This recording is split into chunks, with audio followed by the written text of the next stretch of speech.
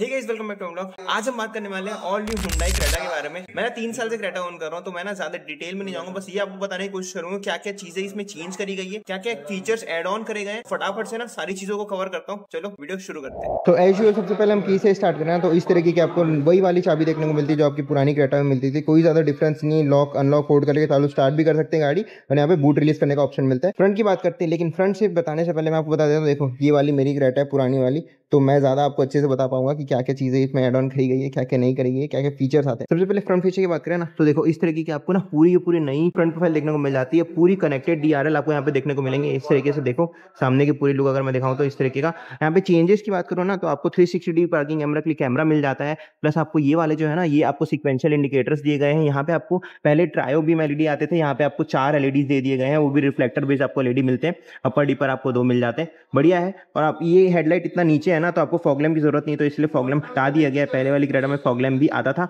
यहाँ पे देख सकते हो एयर कर्टेंस वगैरह आपको यहाँ पे मिल जाते हैं।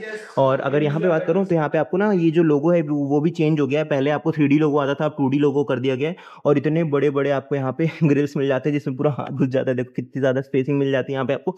ये वाला जो चीज़ है, वो आपका रेडार है एडैस फ़ंक्शन के लिए। इसमें आपको एडैस भी मिलता है इसीलिए। ठीक है? इस तरीके का पूरा बड़ा सा आपको ग्रिल है। साइड प्रोफ़ाइल की बात कर लेते हैं। देखो, साइड प्रोफ़ाइल में ना आपको इस तरीके की पूरी सिमिलर लुक्स मिल जाती है, जो आपको पहले क्रेटा में मिलती थी। बस हाँ टायर, आपको जो ये व्हील्स है ना, वो चेंज कर दिए गए देखो, इस तरीके के आपको नए डायमंड कट अलॉयज मिलते हैं। पहले थोड़े अलग टाइप के आते थे। मैं पर्सनली बताऊँ, मेरे को वो वाले ज़्यादा बेटर लगते थे। ये वाला मेरे को तो कुछ पसंद नहीं आया है। ये थोड़ा सा उल्टा काम करा है। हिंडाई वालों ने बिगाड़ दिया है व्हील्स को, पहले कंपेरिजन बाकी ऑल फोर डिस्क तो आपको बेस मॉडल से ही मिलता है, क्योंकि वो स्टैंडर्ड फीचर है। और हाँ बेस मॉडल से ये आपको छह एयर बैग भी देखने को मिल जाएँगे प्लस आपको टीपीएमएस वगैरह वाला फीचर सब कुछ आपको बेस मॉडल से देखने को मिलता है। तो वो एक अच्छी बात यहाँ पे करी गई है। ठीक है बाकी साइड प्रोफ़ाइल में कुछ ज़्यादा डिफरेंस नहीं सब कुछ सेम है। बस हाँ यहाँ पे देख सकते हो यहाँ पे थ्री सिक्सटी पार्किंग कैमरा के लिए ना एक कैमरा मॉड्यूल इंसर्ट कर दिया गया है।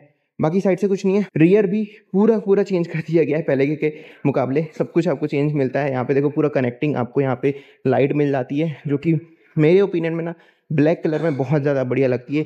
मैं ओवरऑल गाड़ी की बात करूँ ना तो व्हाइट कलर में उतनी मज़ा नहीं आ रही, नई वाली क्रेटा ब्लैक कलर में बहुत ज़्यादा अच्छी लग रही है। और बताऊँ तो ब्लैक अगर नहीं लेना है तो डार्कर शेड्स में ही कोई कलर आप लेना का ट्राई करना, क्योंकि उसमें ज़्यादा बेटर लग रही है गाड़ी।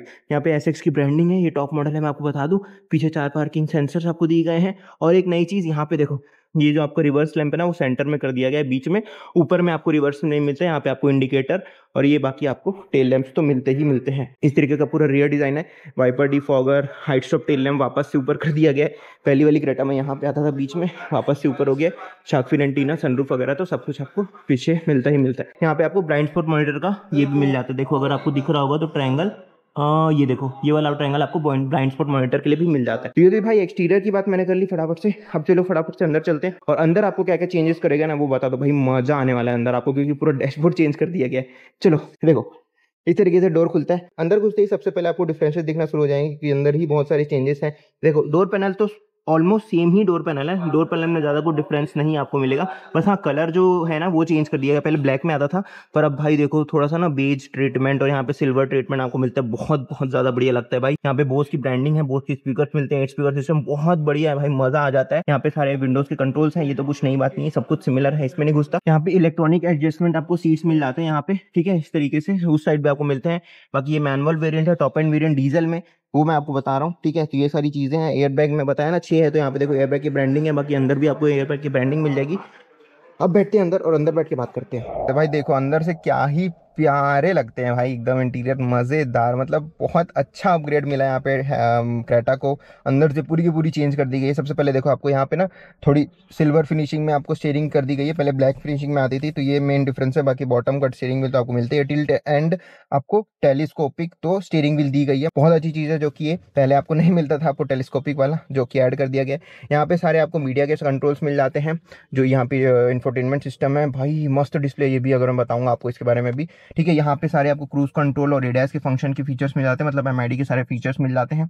इधर बात करूँ, यहाँ पे ऑटो स्टार्ट और पार्किंग और ऑन ऑफ़ करने का, यहाँ पे traction control headed leveller engine start button यहाँ पे आपको मिलता है सब कुछ, ठीक है। यहाँ पे एसी के वेंट्स भाई बहुत प्रीमियम लगते हैं छूने में, पता है? मज़ा आ जाती है। मतलब पहले वाले क्रेटा के कंपैरिजन में बहुत प्रीमियम कर दी है। और ये जो आप डब्बा सा देख रहे हैं ना, ये आपका ना वो है मेटल है, यहाँ पे आप मैग्नेट वगैरह चिपका सकते हैं। कुछ भी आप अगर फ़ोटो वगैरह कुछ भी लगाना है तो मल्टीपल आपको यहाँ पे अपने तरीके से यूज़ कर सकते हैं। उसको वो वाला मैग्नेट यहाँ पे है। इसकी बात करें तो देखो एमआईडी बहुत बहुत ज़्यादा बढ़िया है भाई। ये जो आपकी सेल्टॉस वगैरह में आती थी या फिर आपकी अल्कसार वगैरह में जो वो आती थी ना डिस्प्ले वही वाली डिस्प्ले है। और एक चीज़ हाँ मैं आपको बता दूँ, जैसे कि ऑटोमेटिक वेरियंट्स में आपको यहाँ पे ना मोड सिलेक्टर मिलते हैं ड्राइव मोड्स और स्पोर्ट्स मोड वगैरह सेलेक्टर तो वो वाली चीज़ यहाँ पे नहीं मिलती क्योंकि ये मैनुअल वेरियंट है।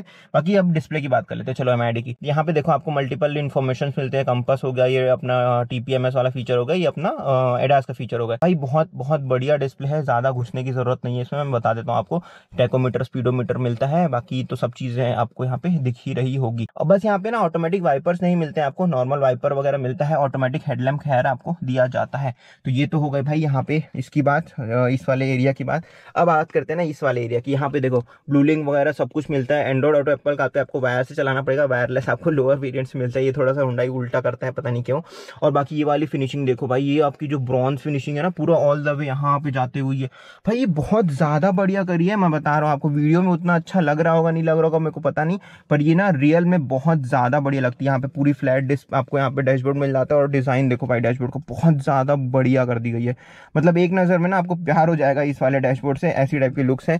ठीक है? इधर आपको देखो, इस तरीके की पूरी पियानो ब्लैक में फिनिशिंग मिल जाती है। इसी वैंस के साथ कनेक्टेड है वो वाला। यहाँ पे आप छोटा मोटा स्पेस है, वहाँ पे आप रख भी सकते हैं फ़ोन वगैरह। थोड़ी सी रबराइज टाइप की ट्रीटमेंट है। तो अच्छे से आपका फ़ोन वगैरह फिट हो जाता है। देखो, मेरा फ़ोन आराम से यहाँ पे फिट हो जा रहा है। यहाँ पे जो एक अच्छी चीज़ बताओ ना इंटीरियर में तो ये है भाई इसके जो यहाँ पे एसी के कंट्रोल्स वगैरह और मीडिया के सारे बटन वगैरह यहीं पे मिलते हैं। डेडिकेटेड बटन्स दिए गए ना, जो कि बहुत अच्छी चीज़ है भाई। मेरे टच पैनल मेरे को बिल्कुल पसंद नहीं यहाँ पे आपको सब चीज़ के लिए बटन दिया गया ना। बहुत बहुत ज़्यादा अप्रिशिएट करूँगा। हंड्रेड में से हंड्रेड मार्क्स दूँगा मैं यहाँ पे हुंडई को कि यहाँ पे आपको बटन वाला पूरा यहाँ पे दिया गया है, क्या बोलते पैनल। और ये आपके एसी के वेंट्स पूरे कनेक्टेड आपको फीलिंग देने के यहाँ पे दिए गए एसी के वेंट्स नीचे यहाँ पे बात करें, यहाँ पे वायरलेस चार्जिंग पैड मिलता है, जिसका इंडिकेशन यहाँ से कर सकते हो type C charging port twelve volt का चार्जिंग सॉकेट यूएसबी पोर्ट सब कुछ यहाँ पे आपको मिल रहा है। यहाँ पे आपको देखो फ्रंट वेंटिलेटेड सीट्स मिल जाते हैं, यहाँ पे आप कैमरा भी चालू करके देख सकते हैं। और भाई कैमरे की बात, ये देखो, कितना ज़्यादा प्यारा आपको यहाँ पे कैमरा मिल जाता है, पूरा थ्री सिक्सटी है। भाई बहुत बहुत बढ़िया है यार मतलब क्वालिटी वगैरह की बात करूँ ना, सब कुछ टॉप नॉच है। देखो, कितनी ज़्यादा बढ़िया क्वालिटी हालाँकि ये व्हाइट कलर है और जो मैं रिव्यू कर रहा हूँ, वो आपका ब्लैक कलर है। कैमरा एकदम टॉप नॉच मिलता है। बहुत बढ़िया कैमरा है और डिस्प्ले तो बहुत ज़्यादा स्मूथ है। कोई इसमें दिक्कत वाली बात नहीं है। ठीक है? और आपको हाँ यहाँ पे आप तो इस वाले वेरियंट्स में लेंगे ना टॉप वेरियंट में आपको जियो साउंड मिलता है तो यहाँ से आप गाना वगैरह भी चला सकते हैं। आपको सब्सक्रिप्शन एक साल का इसमें मिल जाएगा। हाँ यहाँ पे बात कर रहा था मैं, ये आपका मैनुअल ट्रांसमिशन है। इसमें कोई डिफरेंस नहीं, ये पहले की जैसा ये same to same electronic parking brake auto hold वगैरह आपको यहाँ पे मिलता है। ये आपका चाबी वगैरह रखने के लिए छोटा सा स्पेस मिलता है। यहाँ पे आप दो कप होल्डर्स पहले की जैसा ही है, पूरा पैनल कोई ज़्यादा डिफरेंस नहीं है, बस यहाँ पे आपको ग्लॉस ब्लैक कर दिया गया है, जो पहले आता था मैट में।